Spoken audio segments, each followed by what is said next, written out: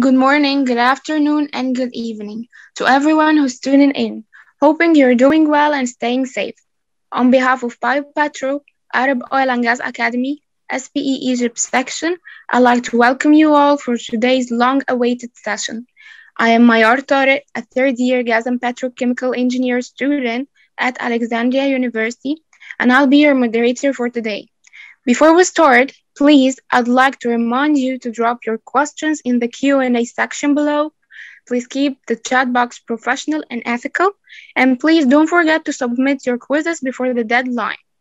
Now, let us give a warm welcome to Dr. Ahmad Elbanbi, who will give us a session in handling PVT properties. Dr. Ahmad is a professor of petroleum engineering and chair of the department at the American University in Cairo. Previously, Dr. Ahmad worked for Cairo University, where he still teaches graduate and undergraduate courses. Dr. Ahmad has 20 years of diversified international experience in reservoir and petroleum engineering. Dr. Ahmad worked as an engineer, manager, trainer, and technology developer. Dr. Ahmad spent 12 years in Schlumberger, where he held a variety of technical and managerial positions in five countries. Dr. Ahmad authored and co-authored one book, two book chapters, more than 90 technical papers, and holds one US patent. Dr. Ahmad has been on numerous SPE committees, program chair for the 2015 North Africa Technical Conference, and technical editor for several journals. Dr. Ahmad is the current program chairman of the SPE Egyptian section. Dr. Ahmad holds bachelor and, ma and master's degree from Cairo University and master's and PhD degree from Texas A&M University, all in petroleum engineering. Dr. Ahmad, thank you so much for coming, and the mic is yours. Uh, thank you very much, uh, Mayar, and uh, good evening and good afternoon and good morning for everyone who's listening. Uh, Uh, what I will be talking about for uh, the uh, next uh, one hour or so, or uh, probably less, is handling PVT properties for for gases. the petroleum engineers among you, usually in the undergraduate, we we study about PVT properties for dry gas. I would like to shed some light on uh, how we handle PVT properties for uh, other gases, uh, namely wet gases and gas condensates, and what are the most important differences that we need to worry about as um, production or reservoir engineers when we are um, generating or preparing PVT properties for the, the gases that we deal with.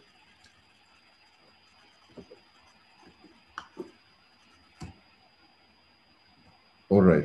Um, the uh, references or uh, the majority of what I'm going to talk about comes from uh, this book, uh, PVT Property Correlations, uh, Selection and Estimation. And in particular, uh, chapter two, we'll talk about the classification of reservoir fluids. In chapter three in the book, we talked about dry gases or engineering dry gases, which is usually what we cover in undergraduate courses. And then in chapter four and five, we talked about engineering wet gases and gas condensates.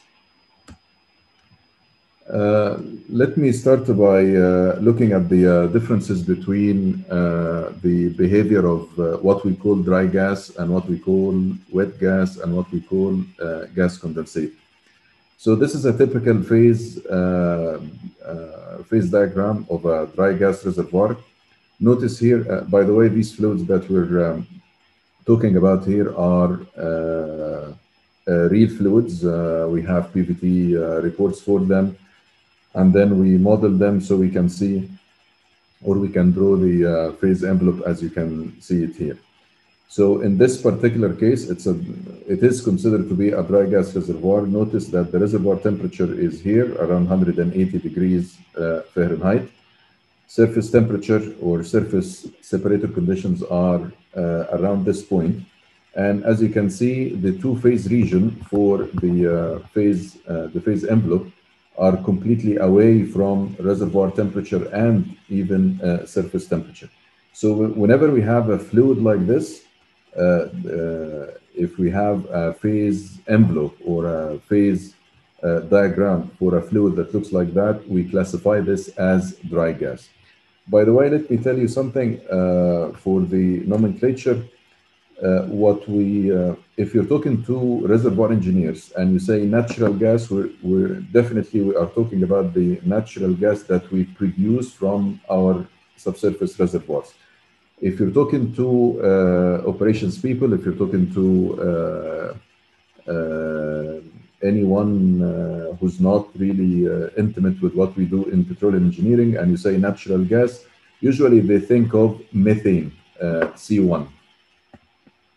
Because this is what we normally use in the uh, industry. This is what we burn. This is what we get heat from, uh, C1. Of course, C1 is used in other things as well, like it is used as raw material for uh, fertilizers, for the cement industry. But usually what we do is we burn the C1, uh, the methane, and we extract heat from it, and then we use the heat in power generation, in industrial use, uh, etc. So the, the terminology uh, natural gas uh, for surface people, it may mean uh, methane, uh, C1, but for petroleum engineers, usually it means the gas that we find in nature and we produce it from the subsurface reservoirs. The natural gas that we produce from subsurface reservoirs contains methane, ethane, propane, etc. Okay. This phase envelope that you're looking at is actually the phase envelope of methane uh, or a gas that uh, that has 99.9% uh, methane. Uh, strictly speaking, this is probably the, uh, or if I have a little bit of uh, ethane and propane added to the methane, we will not get this kind of phase envelope. We will get uh, a two-phase region that's, uh, that's shifted to the right. So you can think of dry gas as something that does not really exist in real life. it's a model so when we uh, when we talk about dry gas in in reservoir engineering context, we are talking about gases that produce on surface very little amount of condensate, uh, but it is not really 100% a dry gas. Uh, the phase envelope that we're looking at is a phase envelope of 100% dry gas because, as you can see, the um, reservoir uh, temperature is higher than what we call the cricondentherm. Uh, and there is no way in the reservoir to form condensate, and there is no way in on surface to form condensate as well. Contrast this with what we call wet gas. So in wet gas, what we see is the reservoir temperature is outside the two-phase region, but the surface temperature or the surface conditions are inside the two-phase region. What does that mean? This means that uh, the gas under reservoir conditions is single-phase gas. When it goes to surface, when we produce it, it produces some condensate. So on surface, I have gas and condensate. Okay? And this is a very important distinction, and it has lots of uh, economic considerations as well. The third type of gas is the uh, what we call uh, retrograde gas. Again, this is a, a, a real uh, fluid uh, at a very deep uh, reservoir. Reservoir temperature is close to 300 degrees Fahrenheit. And what you can see uh, is that the reservoir temperature is less than the cricondentherm. cricondentherm is the maximum temperature of the two-phase region. So when the reservoir temperature is less than the cricondentherm, uh, what happens is that when we deplete the reservoir, the pressure goes down uh, in the reservoir until it reaches what we call the dew point. And by the way, when you're talking when you're talking to uh, subsurface engineers and you say dew point, we mean dew point at reservoir temperature. When you're talking to um, processing people and uh, or uh, people who work on on surface, you really need to specify for them what dew point you're talking about. Are you talking about dew point at 300 degrees Fahrenheit or dew point at the uh, separator temperature or surface temperature, etc. So in gas condensate, the uh, behavior of gas condensate is as follows. Once we reach the uh, dew point in the reservoir and we start depleting the reservoir some more, uh, some of the condensate that's vaporized in the gas will condense and becomes liquid uh, under reservoir conditions. Usually the amount of condensate is, uh, is, is little. Um, the, probably the theoretical maximum of that is around 40 or 45 percent. But for the majority of the gas condensate reservoirs that we deal with, the amount of condensate that drops out in the reservoir is a small amount. Condensate has low mobility compared to the gas. So you have uh, low condensate saturation, high gas saturation, and you have uh, low mobility for the condensate and high mobility for the gas. So guess what happens? This condensate is lost in the reservoir and we cannot recover it um, unless we go through uh, expensive uh, gas uh, recycling or gas cycling uh, operations. Uh, in today's environment, we don't really see a lot of gas cycling operations because gas is used everywhere in, in, a, in, in a lot of countries. So gas has a price. In the old days, uh, gas didn't really uh, have the same economic value uh, that it has today. And therefore, we had in the past uh, several gas cycling uh, projects in which we take the, um, the, we produce the gas condensate, we drop the condensate on surface, and then we recycle the dry gas and re-inject it into the reservoir. So the, when we recycle the gas and, and inject it into the reservoir, it will go and contact the uh, gas condensate that's left in the uh, pore spaces.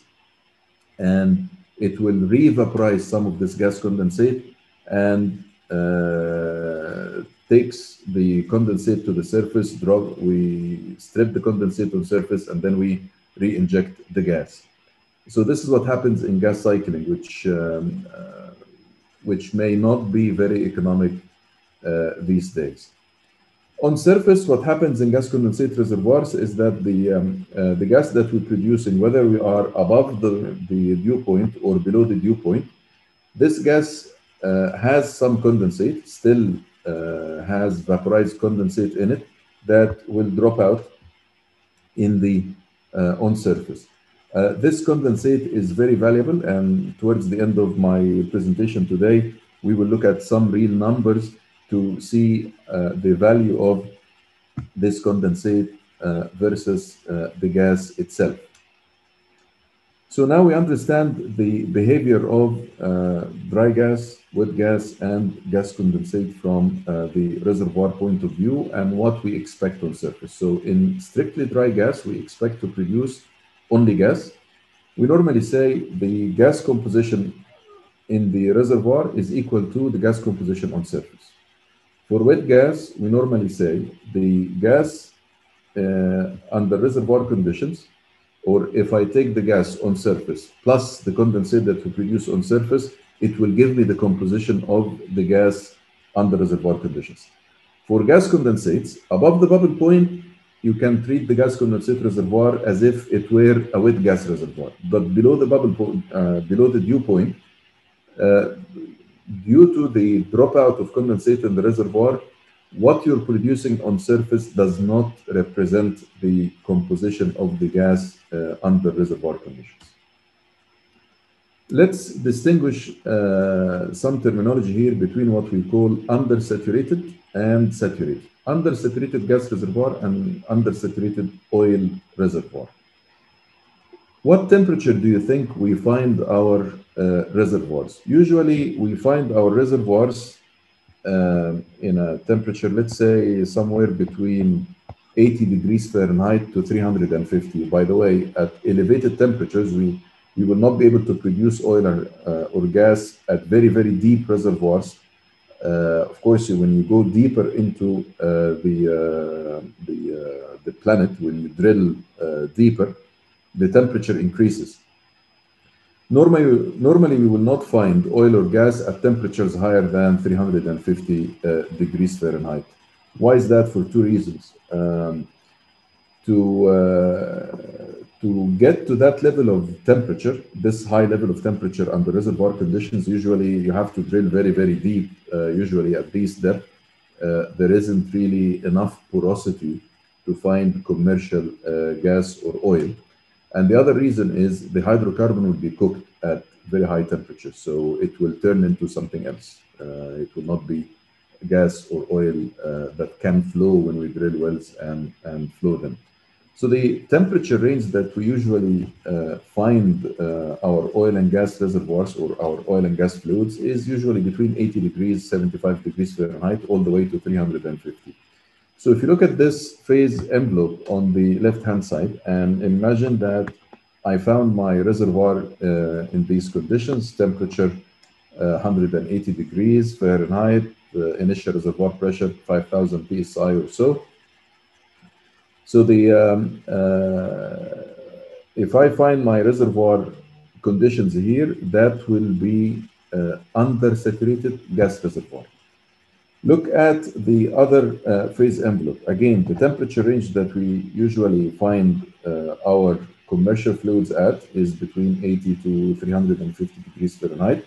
At any temperature, I will have an oil reservoir with a bubble point for this phase envelope on the uh, right hand side or the lower half of the slide. So we call this under-saturated reservoir. So what is a saturated reservoir? A saturated reservoir, if the fluid is black oil, uh, this is an example, the one on top here is an example of a reservoir that has initially a gas cap and uh, oil reservoir. By the way, if the gas cap is the majority, if the gas cap is big and the oil reservoir is small, we call it gas reservoir, saturated gas reservoir. If the oil uh, is the majority and the gas cap is a small, we call it saturated oil reservoir. If the fluid is black oil, uh, usually we find the gas to be wet gas or uh, close to dry gas. Let's say slightly wet gas or light wet gas. And this example here shows the, um, the solid line is the phase envelope of the oil. The, if I take a sample from the oil zone here, uh, it will give me phase envelope like uh, the, uh, the one given by the solid line. And if I take a sample from the gas zone, it will give me uh, a phase envelope like the one we uh, with the uh, dashed line here.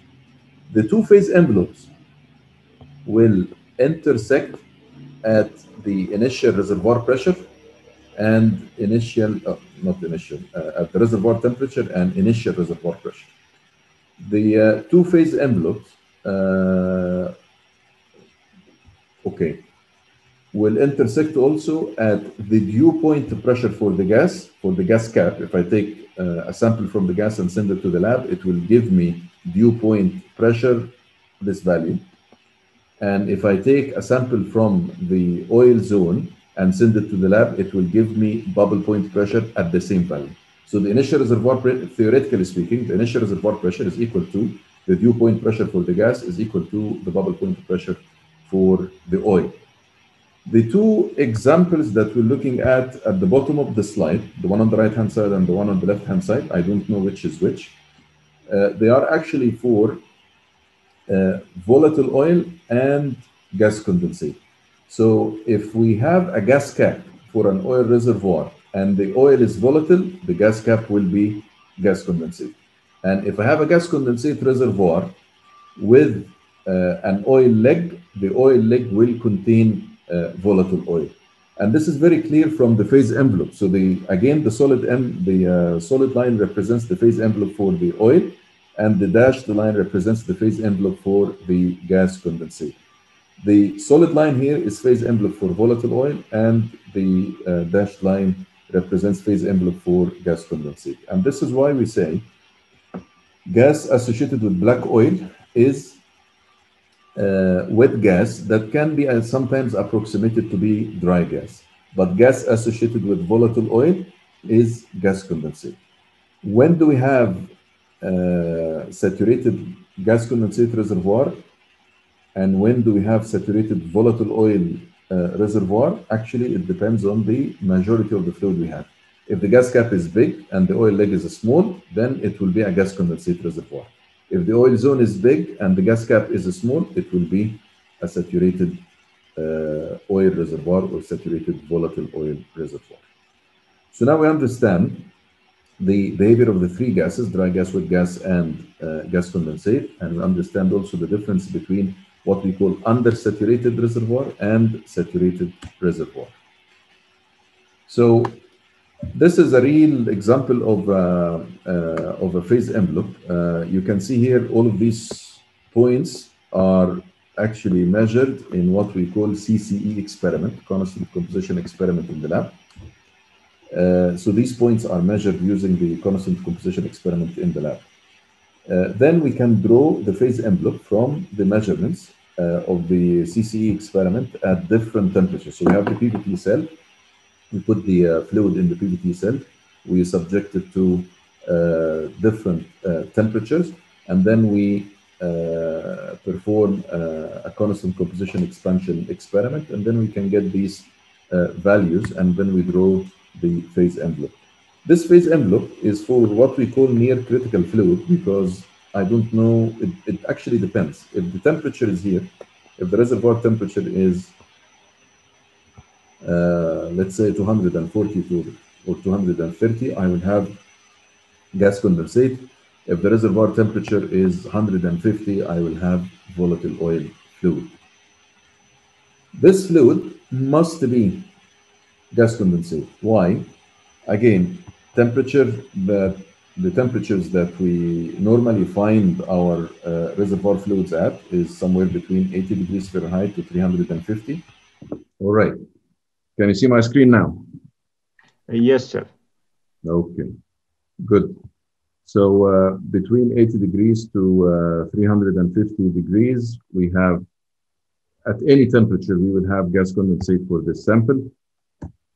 Uh, what is this reservoir fluid likely to be? If you look at temperatures from 80 degrees onward, so this is the range of uh, reservoir temperatures. At any reservoir temperature, I think we'll have a dry gas if we have uh, a fluid like that.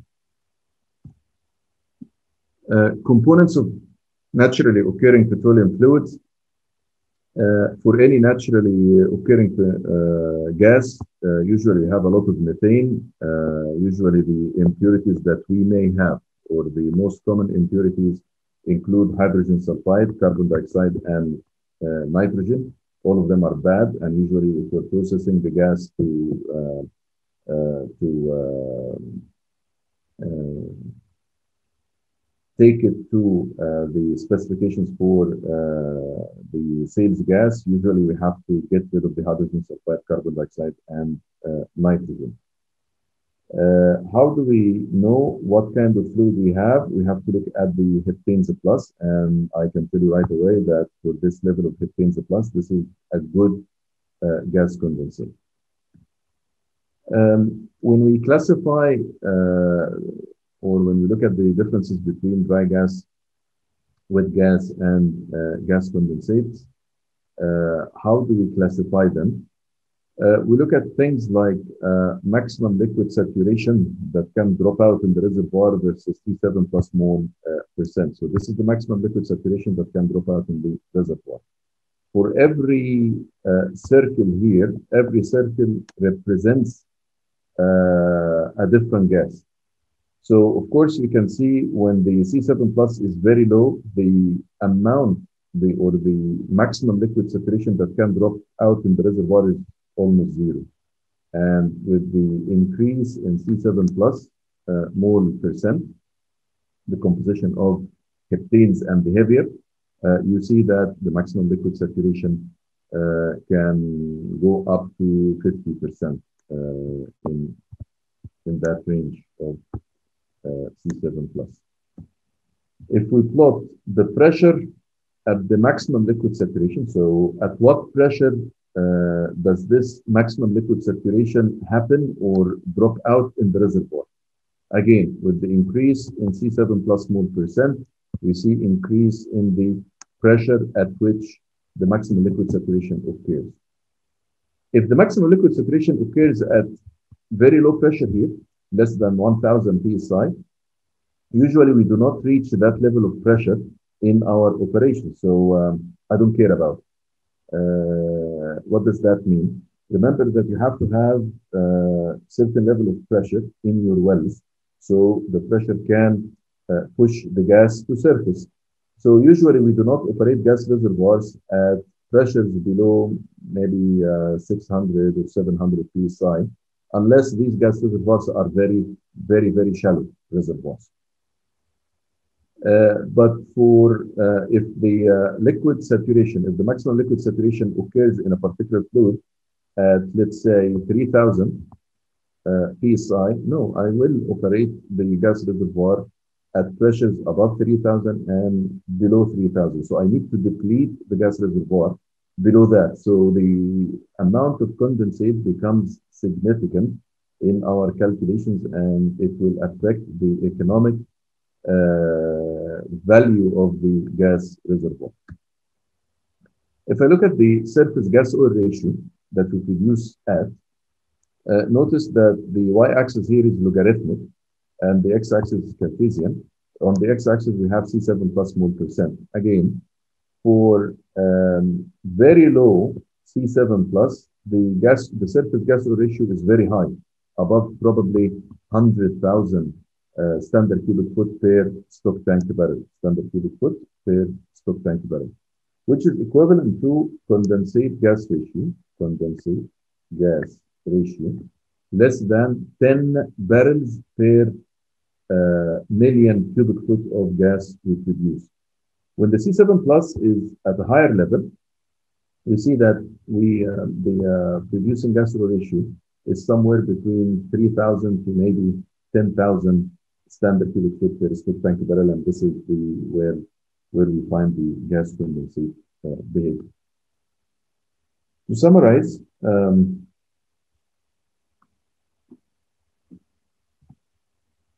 this table we can use to classify the uh, reservoir fluids. Uh, of course, we're talking about gases today, so we can focus on the right-hand side uh, of the table. The left-hand side has the um, uh, classification for volatile oil, black oil, and low gas oil oil. Uh, if we're focusing on gas, um, from the initial producing gas oil ratio if the initial producing gas oil ratio is greater than 100,000, then uh, the um, uh, which means the condensate gas ratio is less than 10 barrels, 10 barrels per million cubic foot, then this I can deal with the gas as if it were dry gas. If if the uh, gas oil ratio is greater than 33,000, we should deal with this gas as uh, I'm sorry, if the gas ratio is less than 30, uh, 53,000, we should deal with this gas as wet gas.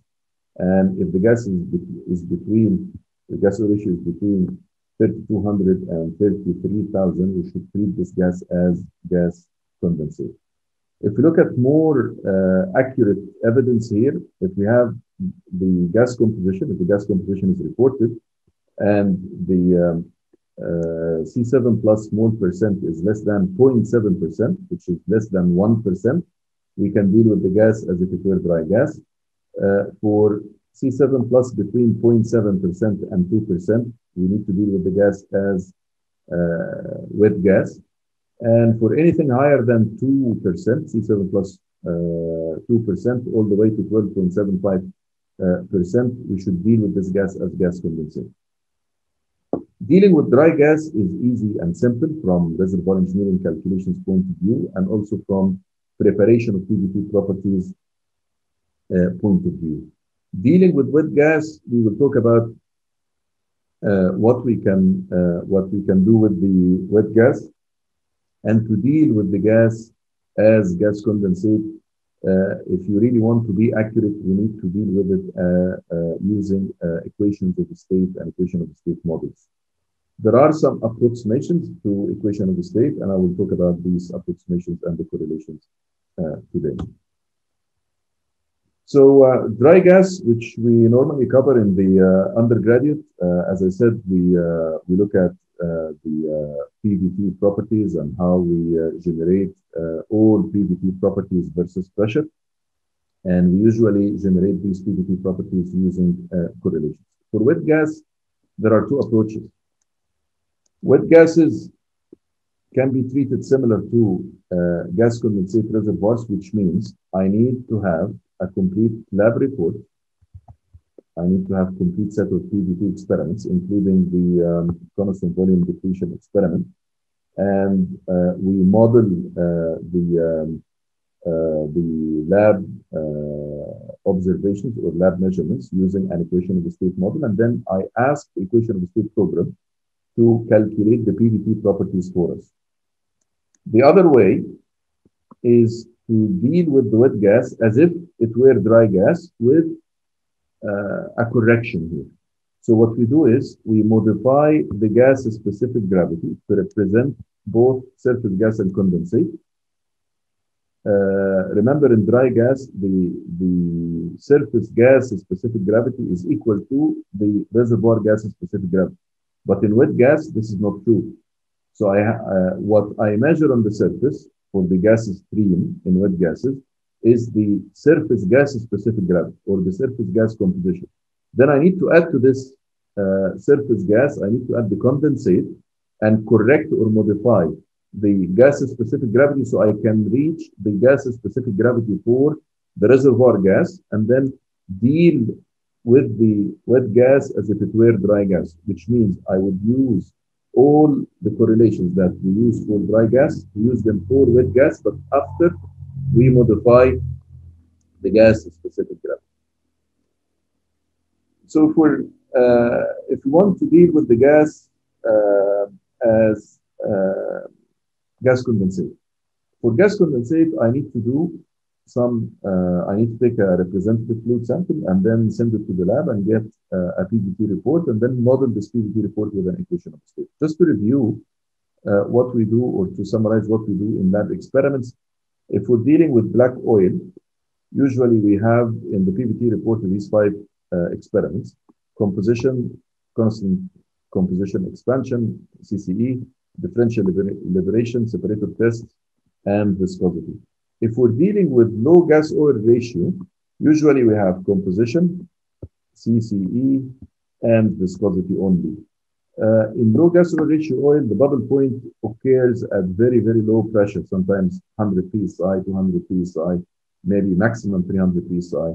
So we are not, uh, this level of pressure we will never reach in our operations, in real life operations, and therefore we don't really care about differential liberation because differential liberation uh, simulates the behavior of the fluid below the bubble point. So if I don't reach the bubble point in the reservoir, then I don't really need the differential liberation experiment. And this is one difference between black oils and low gas ratio oils.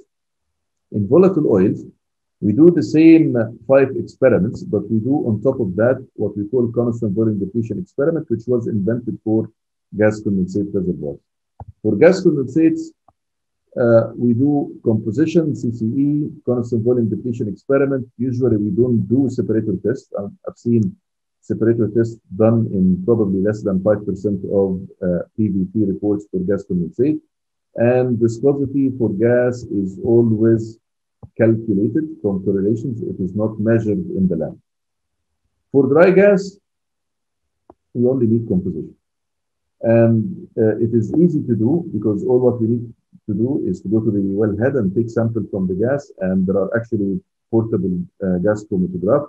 I can even take it to the well, to the wellhead or to the well site and inject the, uh, a sample of the gas into the gas chromatograph and get the composition. So this is very easy. For wet gases, if I deal with them as if they were dry gases, so all I need is the composition, but there is a caveat here. I will talk about it in a minute.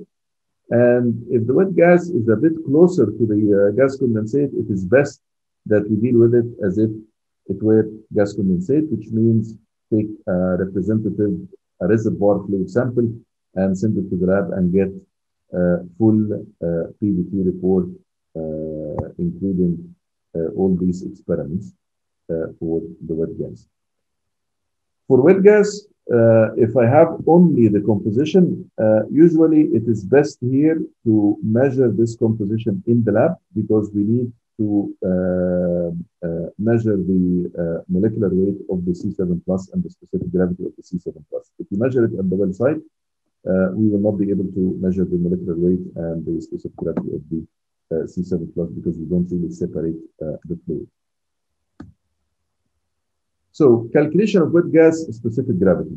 So if I'm going to deal with the wet gas uh, as if it were dry gas, there are options to calculate the wet gas specific gravity. Number one, if I have the gas composition and I'm happy with the gas composition, composition, the wet gas composition, then we can follow very similar procedure to what we do in dry gas which means we uh, calculate uh, the uh, critical properties, critical pressure, critical temperature for the gas, then reduce the pressure and reduce temperature, then Z factor, then everything else from Z factor. If uh, I have the composition, I have an alternative way, which is calculate the specific gravity from the composition and then use the specific gravity in the calculation of Z factor and the rest of the PVT properties. If I don't have the composition of the gas, there is a crude way of getting the specific gravity of uh, wet gas, which is by the knowledge of the sur surface CGR, condensate gas ratio, and the API gravity of the stock tank oil or the stock tank condensate. So on surface, I have gas that's coming out from the separator. Usually this is the gas that we sell and we also have some condensate in the uh, in the stock tank. And usually we sell this condensate as well in the stock tank. Usually we blend it with oil to improve uh, oil properties uh, in the uh, nearby field. So the the uh, we, we take a sample from the uh, stock tank oil and we measure API in the field, and this is the API that we can use in the correlations or the equations that I'm going to show you in, in a minute. There are uh, other approaches here. These two, if I know uh, for two-stage separation systems and three-stage separation systems, if I know the gas oil ratio for the um, for every separator and the stock tank, and I know uh, some additional properties, I can calculate the uh, wet gas specific gravity. Usually, we don't know that in the reservoir, and this is why we call them theoretic. We don't know that in our operations. The practical approaches, so there's a practical approach for uh, two-stage separation and three-stage separation. In these two practical approaches, all I need is R1, which is the gas ratio of the separator, and I need the API gravity of the uh, stock tank, and I need separator conditions.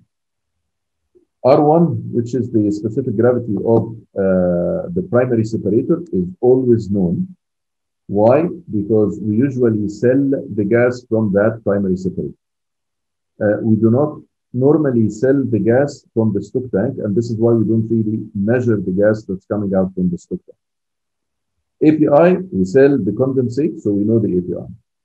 And we operate the, uh, the separator, so we know the temperature and the pressure of every separator we have. So the, uh, these two correlations that we call practical here use data that's readily available in the field. The two ones that, uh, the two uh, techniques that we call theoretical here use data that's not normally available in the field. But in case you have them, you can use them. They should provide more accurate results. So how is, how is that done? Uh, these are the equations we use um, to uh, compute the specific gravity of the wet gas, W here for wet gas, uh, in case of three-phase separation. And the second equation is, uh, is what we use in case of uh, two-phase separation. These equations are theoretical and actually they require knowledge of specific gravity of the oil, which is easy because specific gravity of the oil is related to API of the oil but they also require the molecular weight of the condensate in the stock tank. This is not easy because we do not measure molecular weight in, uh, in the field. Uh, to measure molecular weight, you, you actually have to go to a sophisticated lab, uh, which and this equipment do not exist in, in the labs that we have in our operations, in the field operations. So we can replace uh, the molecular weight of the oil here with a correlation. So there are correlations that are dependent on the API. So if I know the API, I can calculate the molecular weight of the condensate. So there is no problem with the M anymore. We can go back to the same slide. Uh, what else uh, do we have here? R1 is the uh, gas ratio of the separator. This is normally known. Specific gravity of the gas, gamma 1, specific gravity of the gas that's coming out from the primary separator. This is also known because this is the gas that we sell. Uh, usually uh, R2 and R3, uh, if we this is the secondary separated gas ratio, and R3 is the stock gas ratio. Usually, we don't know that. So they are replaced with what we call GPA and V equivalent, and there are correlations for GPA and V equivalent for two-stage separation and three-stage separation. So uh, this is what we call the practical approach. So in the practical approach, I need to know the gas oil ratio of the primary separator, specific gravity of the gas of the primary separator, specific gravity of the condensate, and uh, the rest GPA and V equivalent, we will calculate from correlation. Uh, and these correlations are easy to use. Where do we find all of these correlations for all PVT properties? Uh, associated with the book, there is this website. Uh, actually, it's a free website. Uh, we developed a lot of these correlations and uh, they are uh, there on the website. You can, you can go to this website and uh, register. You just need to put your name uh, and choose a password so the database can identify you. And you will see a place where you can input the pressure values, table of pressures, and then uh, you can choose the fluid type, dry gas, wet gas, gas condensate, black oil, or volatile oil, and you have a set of correlations that you can use to uh, compute uh, the PVT properties uh, for any fluid that you want. And the computations will be drawn for you also. There are plots in which you can uh, copy the plots and put them in PowerPoint or take the values from the table and uh, you can copy and paste in Word or uh, PowerPoint or Excel. So it's an interesting place. If you need to make any calculations, you can go ahead and use it and it's a free utility. So what PVT properties do we normally calculate for gases? We calculate Z factor. We need to use it in every calculation we have in production engineering or reservoir engineering. We need formation volume factor, gas density, gas viscosity, gas compressibility, and to sell the gas, we need the heating value. So for dry gases, I need up to here. For engineering wet gases and gas condensate, I also need dew point. For engineering gas condensates, I also need the, what we call two-phase Z factor and NGL. NGL is uh, NGL refers to natural gas liquids. So the uh, where do we uh, use the two-phase Z factor? It has one place where we use it. If you're doing material balance calculations for gas condensate reservoir, you should be using the two-phase Z factor in place of the single-phase Z factor. I think uh, the uh, petroleum engineers remember this very famous plot, plot that we create for uh, dry gas, P over Z versus GP. For volumetric reservoirs, we should have a straight line. If I'm dealing with um, uh, a gas condensate reservoir, we should replace the P over Z with P over two-phase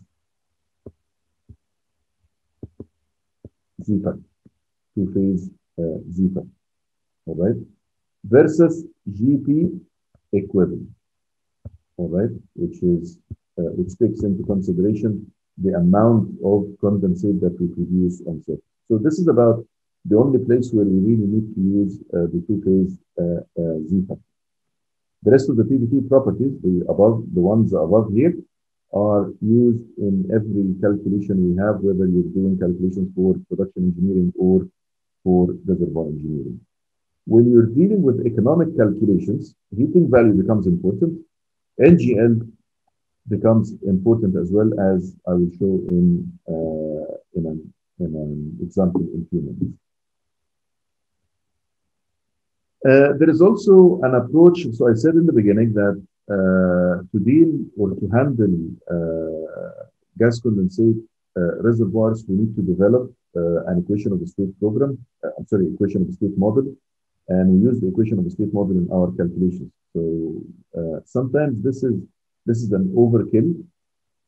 so there, is another approach to handle gas condensates, and we, we call it modified black oil approach. The difference uh, between uh, modified black oil approach and black oil approach is the way we handle uh, the vaporized condensate in the gas phase. So what's really the difference between gas condensates and dry gas from a physical point of view? Dry gas, the assumption here, it does not contain any condensate. The gas condensate, the assumption here is that the, the gas itself has some vaporized condensate that's uh, vaporized under uh, high pressure and high temperature, under reservoir temperature and pressure. When I take this gas to the surface, the gas cannot handle the condensate, cannot contain all this condensate, vaporized condensate in it, and the condensate will drop out. This is actually very similar to uh, the dew point. If you if you uh, listen to the Weather Channel, uh, you see the um, uh, the person saying, okay, uh, the uh, weather is cold, we have a dew point of blah, blah, blah. so they're talking here about the ability of air to vaporize the water vapor. So in the um, early in the morning when the temperature is low, we see droplets of water uh, on your window in the morning. When the sun comes up, uh, and let's say around noontime, uh, the uh, temperature of air becomes higher and the air can revaporize this condensed water, this condensed water. And then the uh, the uh, the air will will be saturated with water uh, vapor. So we understand this phenomenon because we see it. what happens in our reservoir is very similar. The gas can contain vaporized condensate under certain pressure and temperature, high pressure and high temperature. When I take this gas to the surface, uh, the gas cannot uh, contain this vaporized condensate and it has to drop out some of this condensate. By the way, this is great for us because the condensate has a lot of uh, value. So to use this modified black oil approach, I need four PVT properties instead of three in the black oil approach. So I need the gas formation volume factor, which looks like that. I need the oil formation volume factor, which looks like that. And I need the gas oil ratio, the RS, gas oil ratio. Everybody knows the RS. And the additional function that I need to use is called RV. And this is called vaporized, V here for vaporized. Vaporized oil gas ratio, which means how at uh, at a particular temperature and pressure, how much condensate is vaporized in the gas. So when I take it to standard pressure and temperature, it will drop. Okay? So this is what RV means. So this is another approach, and it is pretty accurate as long as the composition of the uh, of, of, the gas can be considered uh, more or less constant during uh, operating our gas. Uh, this is the modified black oil uh, approach. What's important for companies here is the economics or economic impact for gas reservoirs. When we find uh, for oil and gas companies, when they find subsurface uh, natural gas reservoir, uh, how do we sell the gas or how do we monetize the gas? Uh, there are three options. Gas can be sold at the wellhead. What does that mean? the oil company will sell the gas at the wellhead. So uh, there is an intermediate company, transportation company, that builds pipelines, connects their pipelines to your wellheads or to the oil company wellheads, and then takes the gas at the wellhead and then uh, push it, compress it into the network uh, of pipelines, and then sell it to the end consumer. Then the consumer could be uh, us, uh, our houses, if uh, natural gas is, is uh, sent to our houses. It could be steel manufacturing plant or steel manufacturing company. It could be a power company, etc. Any consumer of the gas. So the oil company makes the money at the wellhead. So when we when gas is sold at the wellhead, usually it is sold based on the calorific value of the gas.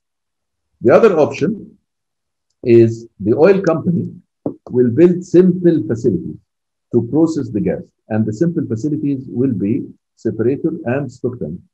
So in the separator and the stock tank, we will uh, separate the majority of the condensate so we can sell the condensate on its own. So by tracking it, for example, or by building a pipeline uh, with a pump to pump the uh, the uh, uh, the uh, condensate, and we sell the gas from the uh, separator. If we separate the gas at high pressure, uh, we will save money on transporting the gas. Why? Because if we separate the gas at high pressure, I can send the gas uh, in a pipeline without compression. But the um, uh, the bad thing about that is is that I will not maximize the recovery of the condensate. If we separate the um, the gas on several steps, I will maximize the recovery of the condensate, so we'll make money uh, by selling the condensate. But to sell the gas, I have to compress it. So I spend money to sell the gas. So we have to work on the economics of uh, uh, the second option here. First option is easy. Okay. The second option, I, I will spend some money in processing, but I will make a lot more money by selling the condensate. Option number three is, uh, is more sophisticated. So I have to build a gas plant. We take the gas and we sell. We, we separate the gas into C1, C2, C3, C4, and C5 plus. Uh, from C2 from C2 to C5 plus, we call this natural gas liquid. And there are several levels of uh, gas plants. Uh, the sophisticated ones will separate each fraction on its own. So C2, uh, C3 on its own, C4 on, it, on its own, and C5 plus on its own. So if I have a sophisticated gas plant, we'll separate uh, the all the fractions of the gas. If we have a simpler gas plant, we may not be able to separate all the fractions of the gas. So the economics here uh, play a big role in deciding uh, the level of sophistication in the gas plant and whether we're going to build a gas plant or we are not going to build uh, a gas plant. But if I reach that level, processing the gas to separate C1 from C2, from C3, from C4, from C5 plus, then I will be able to sell each uh, component uh, on its own, and the company will make uh, actually good money. This is the best value for the gas. So these are the three options that we use to monetize our gas uh, reservoir. So let me talk a little bit about how we uh, or the economic impact of uh, each option. To see the economic impact of each option, uh, let's illustrate this with an example.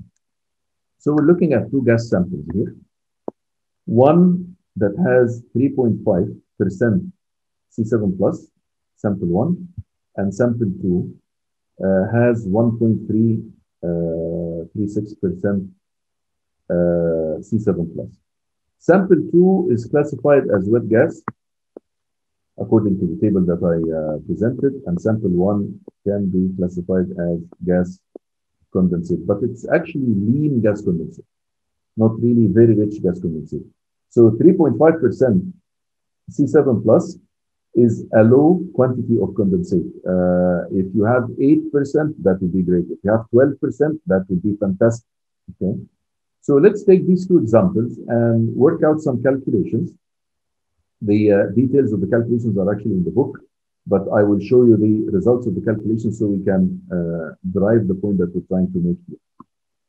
For heating value, if I calculate the heating value for um, sample one, it will be uh, 1339 BTU per SCF. For sample 2, it will be around 1100 BTU British thermal unit for uh, every SCF that we produce. So what's the difference in value here? By the way, we sell the gas in option number one. Let me go back to the option. This is option number one, option number two, and option number three. So for option number one, if we sell the gas at the wellhead, the difference in price that we will realize for sample one and sample two will be, uh, I will get 20%, probably around 20% higher price for the same amount of gas that we uh, sell. Uh, I will get 20% higher price for sample one over sample two. Okay, so the difference is not huge. Let's look at approach two. If we sell the gas separate from the condensate, what engineering calculations can we make here?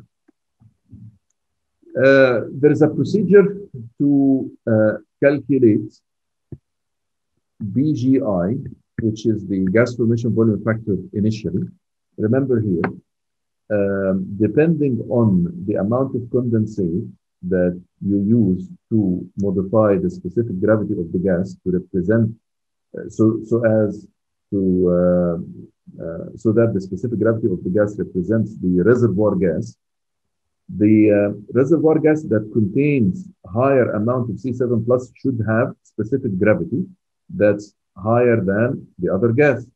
When we use this specific gravity to calculate a quantity like BGI, uh, gas formation volume factor at initial reservoir pressure, uh, we will have difference actually in how much condensate we will recover for reservoir 1 and how much condensate we will recover for reservoir 2.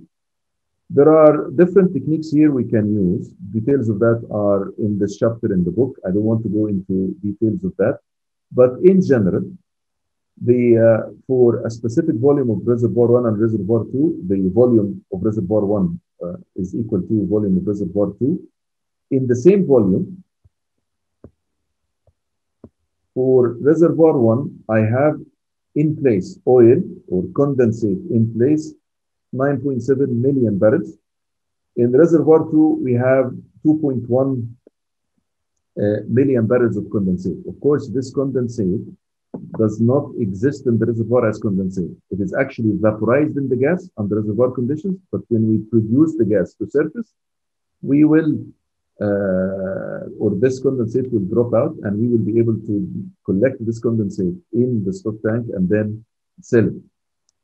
So now, if we assume recovery factor, same recovery factor for reservoir 1 and reservoir 2, let's say 85% recovery factor, and this is not unheard of.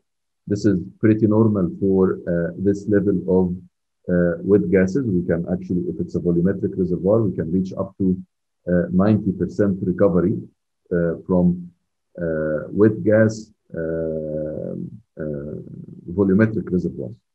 If it's a gas condensate reservoir, 90% is too high, maybe 85% is too high, but we can probably reach uh, 70, 75% uh, recovery factor for the gas and maybe 60 or uh, 65% recovery factor for the condensate.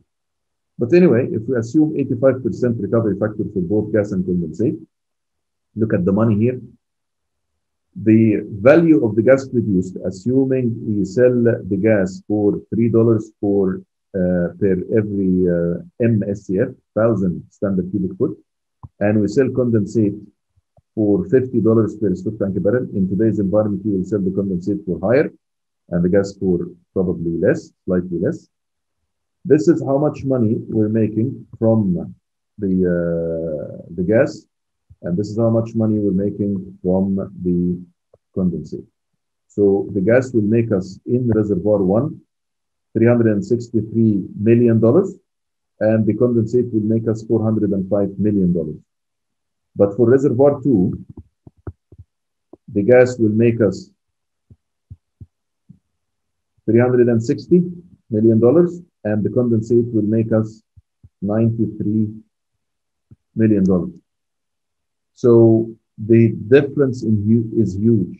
There are two points to notice here. Number one, whenever we have even a little bit of condensate uh, in, and we classify our reservoir fluid to be wet gas, I really need to worry about the condensate. Uh, unfortunately, we find many people uh, ignoring the fact that wet gas reservoirs produce an amount of condensate and they ignore the amount of condensate that, we, that will be produced. They ignore that in the calculation of the economic value of the project. So this is why we say failure to quantify the economic impact of the expected condensate production may lead to overlooking some potentially promising gas, uh, wet gas development projects. So uh, please uh, take that into consideration when you're dealing with wet gas or gas condensate reservoir. So you have to uh, look into ways to monetize the condensate. The other observation that we see here, although the difference in C7 plus between uh, reservoir fluid number two and reservoir fluid number one, the difference is not that much. If you remember, reservoir fluid number one contains a 3.5% C7 plus. Uh, reservoir two contains 1.5% C7 plus. So with this little difference in the C7 plus, look at the huge difference in value. The condensated reservoir one represents 52.7% of the project value, which means it will, the economic gain from the condensate is even higher than the economic gain of the, uh, the gas. Uh, and in the in reservoir number two, the condensate value represents 20% of the project value, and 80% of the project value uh, uh, is actually coming from the uh, gas sale. Okay, so for wet gas, please take a note of that. Uh, if we're dealing with wet gas or gas condensates, another thing that brings the the money here, if we're looking into approach number three to monetize the gas, approach number three is to process the gas and sell the components. So to monetize the gas or um, uh, to find out how much uh, I can recover from uh, the the gas stream, we need to make what we call GPM calculations or gallons per, per thousand. Capital M in our oil industry uh, means 1,000. It's not 1 million, okay? So GPM stands for gallon per thousand, which means how, uh, how many gallons of C2 how many gallons of C3, how many gallons of C4, and how many gallons of C5 plus, I will recover for every thousand standard cubic foot for every for every MCF, uh, MSCF. If you don't like gallons, if you don't like to work uh, to work with gallons, you can actually calculate it in gallons, or you multiply times 23.81, and it will get give you the GPM uh, in barrels, barrels per million standard cubic foot. Usually we, we measure our uh, gas production in million standard cubic foot. So I would like to know how much C2, C3, C4, and C5 I will recover for every million standard cubic foot. Depending on the uh, level of sophistication of the uh, gas plant that you're using, so if you're using uh, absorption or lean oil plants, these are the cheapest plants, the older plants, or if you're using uh, refrigeration plants, or if you're using cryogenic uh, plants, the uh, fractions that you can recover from ethane, C2, propane, C3, and butane C4 and pentane uh, plus C5 plus. Uh, the, these represent the fractions of uh, the um, amount of NGL that you will produce for every type of plant. So this is this slide can allow you to make uh, the calculations, economic calculations, if you're planning to build uh, uh, a gas pipeline, I'm sorry, a gas plant to process the gas and then sell C1 separate from C2, C3, C4, and C5. Depending on uh, which approach will give the maximum value uh, to the project, usually we go and uh, use either approach number one, which is sales of the gas at the wellhead using the heating value, or approach number two, we separate the condensate from the gas and we sell the condensate separate from the uh, from the gas, or approach number three, in which we can actually um, uh, uh, fractionate the gas and sell each component uh, on its own. So these calculations are very important for uh, engineering our gas reservoirs. So uh, what's the summary? Let me uh, review very quickly what we uh, did together in, the, in this almost one hour. Uh, we spoke about the classification of gas reservoirs. Uh, so the gas reservoirs can be classified into dry gas, wet gas, and gas condensates. the best way to classify your gas reservoirs will be to look at the C7 plus. So if it is higher than 2%, the fluid is gas condensate, or you should be treating it uh, as gas condensate. If it is between 0.7% to 2%, we treat the gas as wet gas. And uh, if the amount of C7 plus in my reservoir gas is less than 0.7%, which is less than 1%, then we can deal with our gas as if it were dry gas.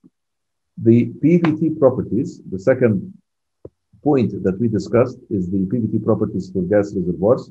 We, uh, we generate these PVT properties using two approaches, correlations approach or lab experiments. If we use the lab experiments, for dry gas, I don't really need to do anything uh, other than the composition.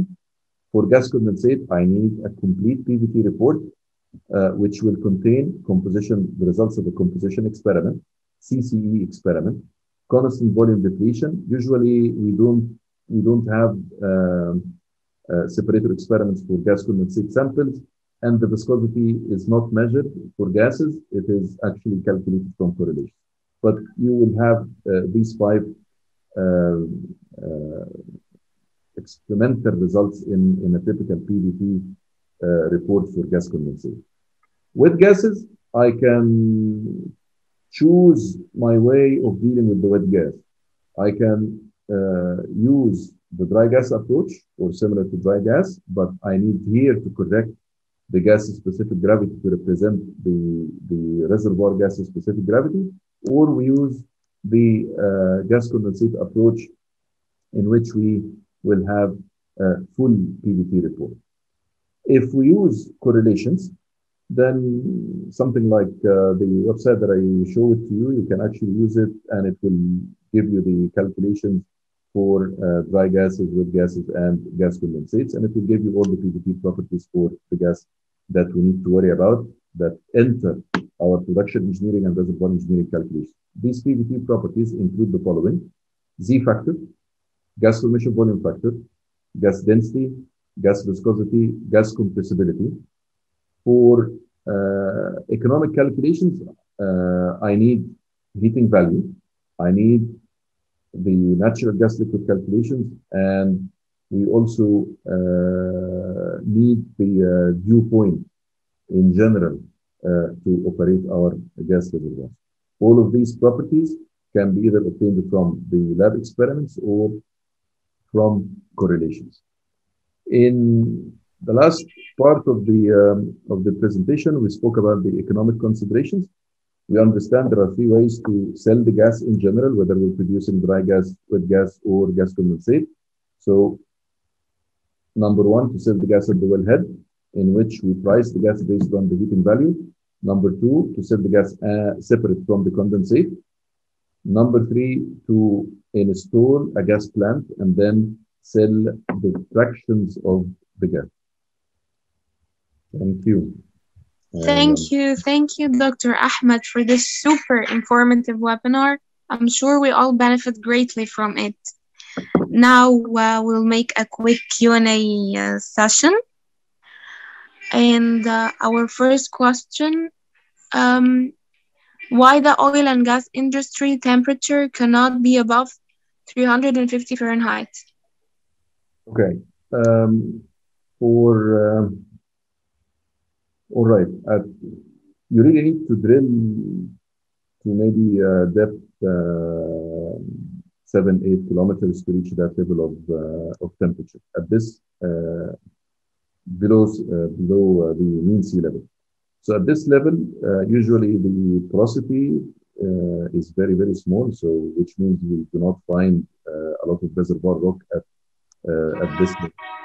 And at very high temperature, also the hydrocarbon will be cooked, and it will transform itself to something else. So we will not find reservoir fluids at higher temperature. Of course, you can find one or two exceptions, uh, maybe at 360 degrees Fahrenheit, but I'm not aware of uh, any reservoir fluid that exists at higher temperatures than, than that. And there is actually a correlation, since you spoke about the, um, uh, the temperature.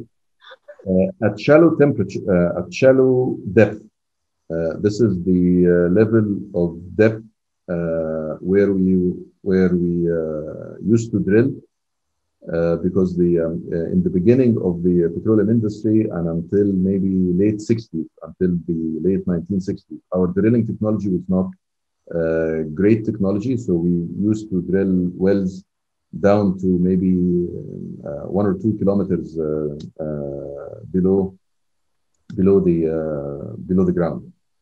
So at this depth, we found black oil low gas oil ratio oil, and dry gas.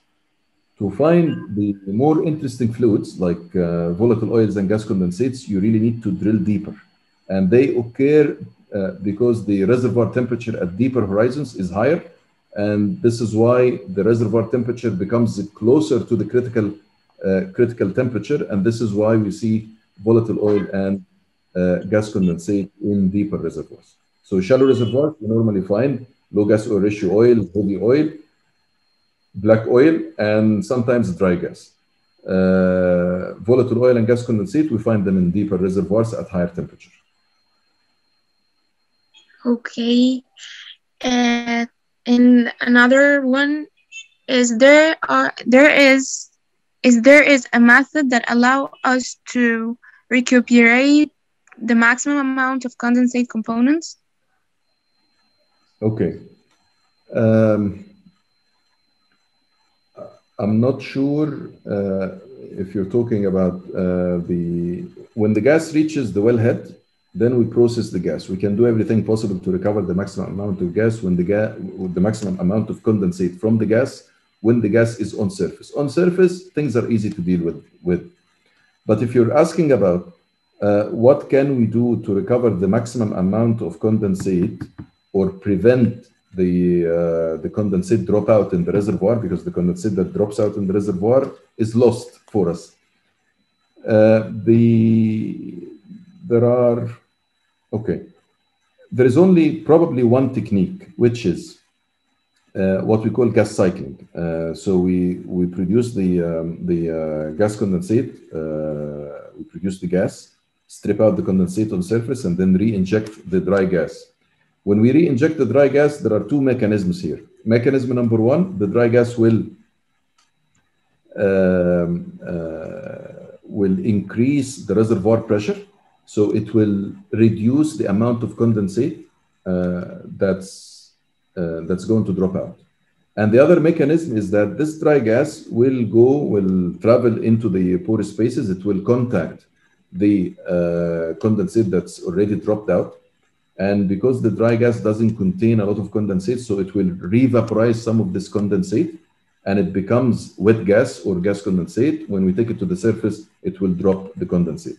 So the efficient mechanism from a, a technical point of view to recover the maximum amount of condensate uh, from the reservoir is actually gas cycling.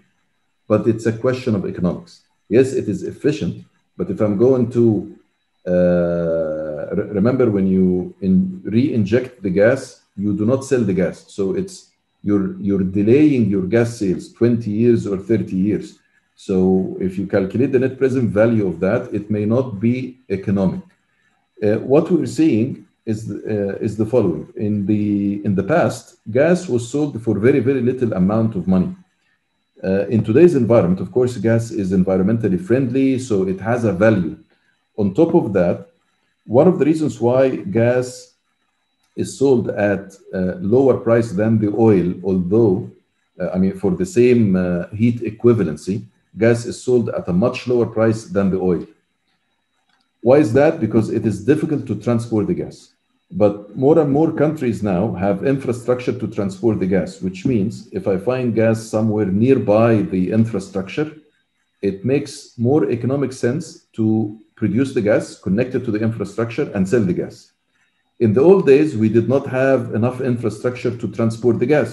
So if you discover gas somewhere in, in the middle of nowhere, uh, uh, 300, 400 kilometers uh, away from any civilization, then probably what made economic sense back then was to recycle the gas, produce the condensate, and either build a pipeline for the condensate for the liquid or transport the liquid using trucking. Okay, and this is why in the old days we, we used to see more gas cycling projects, but in, in, in today's environment, usually we do not see a lot of gas cycling uh, projects. I hope this is clear to everyone. Uh, yes, thank you. And our last question, how to distinguish between a highly volatile oil with a near critical point retrograde gas in lab, in lab? In the lab? Yeah. Okay. Uh, sometimes it is difficult to distinguish uh, the um, or to to know whether the um, uh, volatile oil or the gas condensate, uh, whether the fluid I'm looking at is, is volatile oil or gas condensate, because both of them will be um, uh, water-like. Uh, so they are colorless. They don't have a specific color. They are transparent. So when, when you are actually on the critical point, it is very difficult to distinguish the two, especially if there is H2S. Uh, if there isn't really H2S, usually we, we will be able to see the fluid as liquid. And then uh, when we reduce the pressure, we find bubbles of gas. Then the fluid is liquid. But on the other hand, if it's gas, uh, we will find droplets of liquid in it. So the uh, technician in the lab or the engineer in the lab will be able to distinguish whether this is, I'm starting from liquid or I'm starting from gas. And this is how we distinguish between uh, the gas condensate near critical and the volatile oil near critical. However, in some cases, especially if there is H2S, if there is a little bit of H2S uh, in the volatile oil or the gas condensate, sometimes it is really difficult in the lab to distinguish whether we have gas condensate or uh, volatile oil. Uh, in a situation like this, the, um, uh, the recommendation here is to do the six experiments. So to do uh, composition, uh, CCE, constant composition expansion. You do both uh, CVD, constant volume depletion, and and differential liberation, and you do the viscosity measurement and separator uh, experiments. So you, you create uh, a lot of observations, and in a situation like this as well, it is best to develop an equation of the state using all of these created observations uh, in the lab and then you can play scenarios with the equation of state to see how we can maximize liquid recovery from that fluid, whether it is classified as gas condensate or volatile oil. So economically here, it will not make a difference whether I'm treating the fluid as gas condensate or uh, volatile oil. And uh, to get the maximum gain from near critical fluids, hopefully and usually they are actually found uh, at high pressure and high temperature uh, deeper reservoirs. So usually in the beginning, at least the surface pressure is high and we can uh, use uh, three or four or sometimes five stage separation system to maximize the liquid recovery from these volatile fluids. Thank you so, so much, Dr. Ahmed, again for your enormous effort in this terrific webinar. And now, to highlight this session has been recorded and will be uploaded soon, soon on PioPetro YouTube channel. So kindly make sure to subscribe on our channel. Wishing you a great day. Stay safe and bye. Thank you very much. Thank you.